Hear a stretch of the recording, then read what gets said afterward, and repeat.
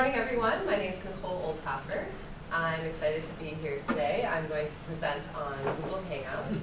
I'm a member of DoIT Academic Technology, a part of the online course production team. So I work as an e-learning designer with a variety of different tools.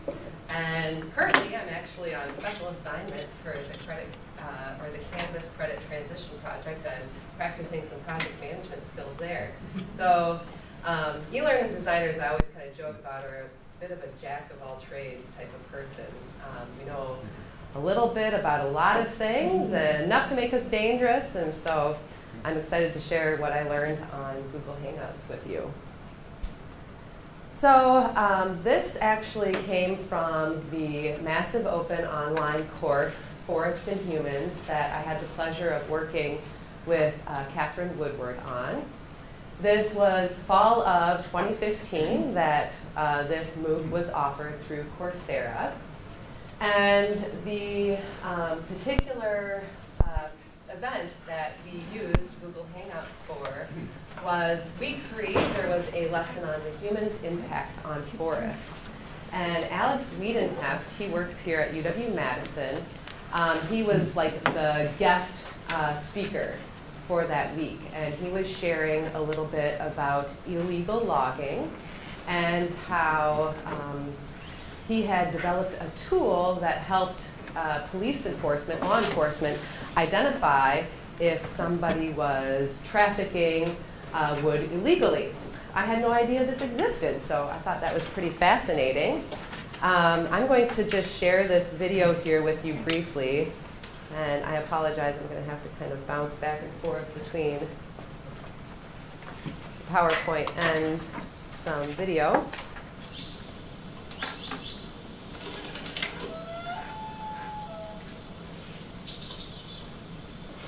So this week he shared here at the Center for Wood Anatomy Research at the Forest Products Laboratory, we have the world's largest research wood collection, which is essentially the world's largest library of scientifically collected wood specimens. And we use this on a day-to-day -day basis as reference material for identifications of wood, whether that be for illegal logging or other purposes. This is a specimen of...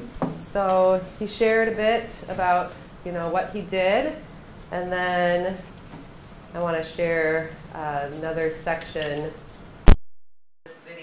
this was part of the week's material. And then later in this video, he demonstrates this xylotron that he um, helped But identification system, it's called the xylotron. Xylo means wood. Uh, to identify specimens of, unknown specimens of wood in the field. This is not meant to be a laboratory-based forensic level identification, not an expert level, but a field tool for law enforcement to get an initial idea of whether a wood is or is not what it's claimed to be. So that video was presented to students that week and they watched it. And later uh, we scheduled a Google Hangouts with uh, Alex. And it was a real-time session where he presented with uh, Catherine about the Xylotron and the students from around the world had the ability to chat in questions with him. And this is just kind of what we were trying to achieve with our Google Hangout. And he also was able to demonstrate the Xylotron tool in action during that um, broadcast. We scheduled two different sessions because since uh, the participants were uh, geographically dispersed. We had one early in the morning and then one late in the afternoon to make sure we could accommodate people from different um, time zones. So we were interested in Google Hangouts because uh, Google is something that is widely used you know, across the world. There's just a large amount of people who have uh, Google um, Plus accounts. We were interested initially in having the students log on and potentially video chat with the instructor. But the issue with Google Hangouts is that you can only have 10 participants online together at a time. And they actually upped that recently to 15. That's still just not enough, especially for a massive open online course. And I'm sure for many of the courses that you're teaching, you have more than 15 students. So what we uh, looked at then was this Hangout on Air. Now, Hangout on Air has recently, as of like probably two months ago, been converted to YouTube um, on Air. So you are using the Hangout tool, but the students watch the broadcast via YouTube. And that was fine for us because YouTube is also something that a majority of students use or just people use around the world. There's, I don't know the percentage, I should have looked that up before presenting.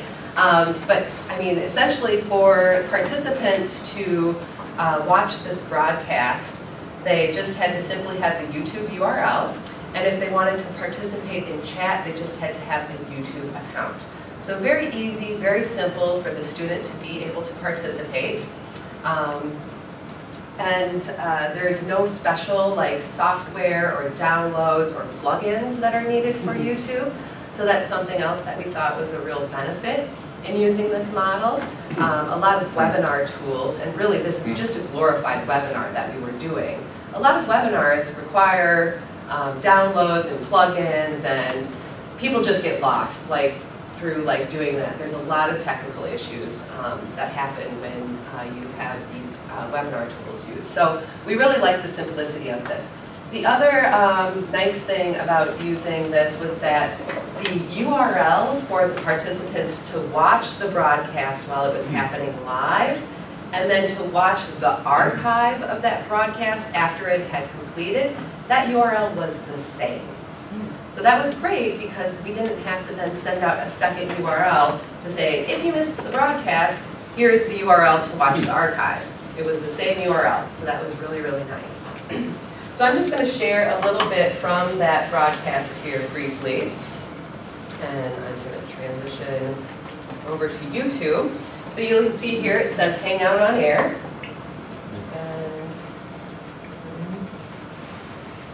Good morning, everyone. I'm here with Dr. Alex Wiedenhoeft from the Center for Wood Anatomy at the U.S. Forest Service Forest Products Laboratory here in Madison, Wisconsin. Alex is going to take your questions today about wood identification, its importance and uses, in particular in the context of illegal logging. Hopefully you've already seen Alex's video on the problem of illegal logging and have some questions ready for him. So Alex, without further ado, we will turn it over to you all right, and I'm just going to skip ahead. These are, this is out on YouTube, so if you'd like to take a look at that, you can later. I'm going to jump to the section where he actually demonstrated the xylotron. We have that same wood specimen that I cut a few moments ago. So you'll see no fancy camera work was happening here, but it worked. wood collection and an area over here where it's been cut, and then right here that I just cut a moment ago. And if you would point that at the screen, this, this little window here is the output of our device. So if I put the imaging device, these are my blue jeans. So he's demonstrating that, and then a little bit later, uh, just to give you a sense of how this worked, well, at least especially with the amulets, um, there's not as much to see with the conifer. Um, so he is taking questions now at this time. So Catherine's kind of off the screen, she's watching the chat window, and she's um, uh, relaying the questions to Alex so he can address them to the students who are watching real time. Use for macroscopic, so hand lens. So a little bit more into how we um, set this up. So um, we decided to put everyone in one room.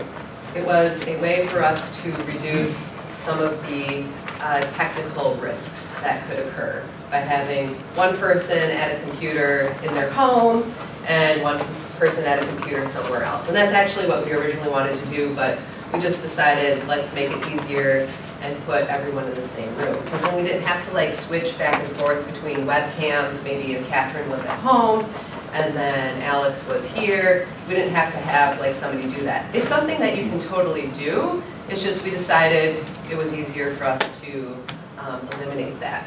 So we had, this would be Alex, and we had Catherine. They were here together in front of a computer. We had a webcam that was attached. It was an external webcam, and as you saw, Catherine kind of would take that webcam and point it to wherever it needed to be to demonstrate that Xylotron tool. We had a separate mic that we had set up, and this was to ensure that we had good quality audio. And I really do firmly believe that people are more lenient on poor quality video, but they really cannot tolerate poor quality audio. So, and I think it's just kind of like, uh, I mean, with the video, they appreciate the fact that it's realistic, right? I mean, it's kind of like reality TV. Well, I don't really love reality TV. A lot of people are used to it.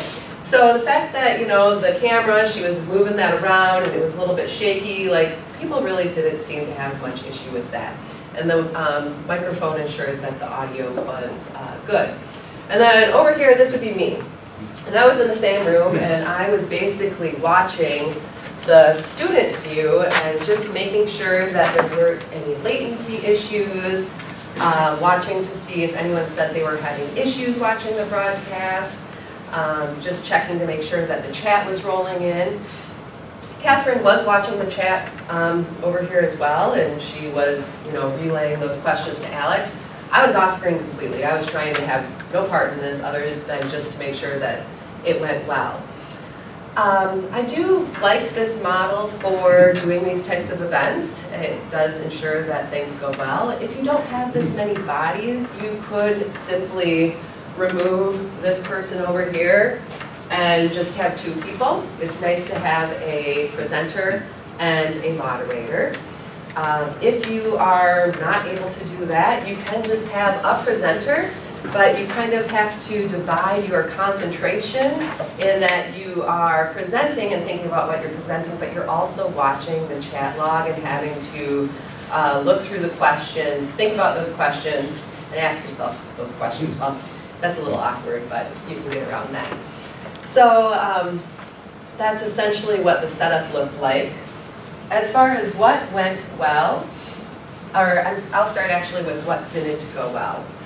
Uh, linking uh, the Google account and the YouTube account was a bit of an issue. So if you are the presenter, you need to have both a Google and a YouTube account.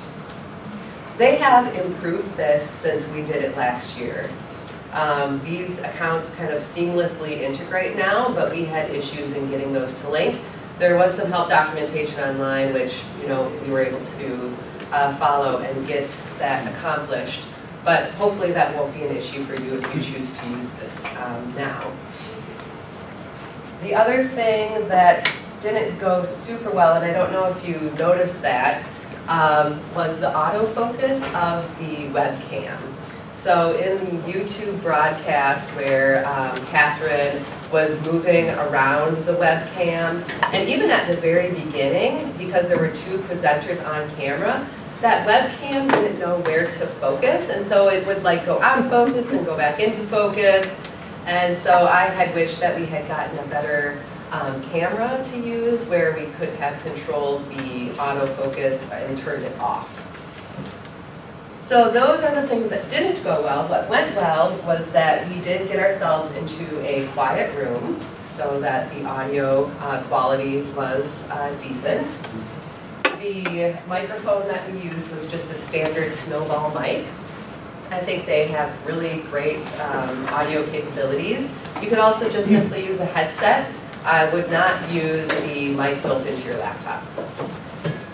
The other thing that went well was that we did a practice session. So we essentially did this before we did the two uh, broadcast sessions um, for the different time zones, just to make sure that there were no glitches when we actually went live. It also just makes sure everyone's minds are at peace and can focus on actually presenting. The chat session worked well. Um, I find that having people participate real time with audio sometimes causes more issues than is worth it because they might be in a loud environment. You might, they might be, I actually remember a teleconference I was on where the person was driving and it was just like this terrible racket, like they had their window open and like no one could, you know, concentrate or pay attention on this like teleconference. So, you know, just by using chat, you remove those potential uh, distractions. And I mean, personally, when I participate in these types of events, I don't always want to like speak. You know, I'm actually also worried that I might like hit my mute button or not, you know, uh, have it uh, functioning correctly. So just chatting in is sufficient for asking those questions and interacting with the other people that are on the call. I had mentioned the two sessions that was good for catching the different people in the time zones. And then we did send out prior to the event happening this YouTube minimum requirements link. So while YouTube does work fairly well across um, different bandwidth connections, you know, software downloads, it's still a good idea to have your uh, students check to make sure that YouTube will work for them um, where they're at. And that's just something, a URL that's on uh, their website, and I think it's also on the handout that you have today.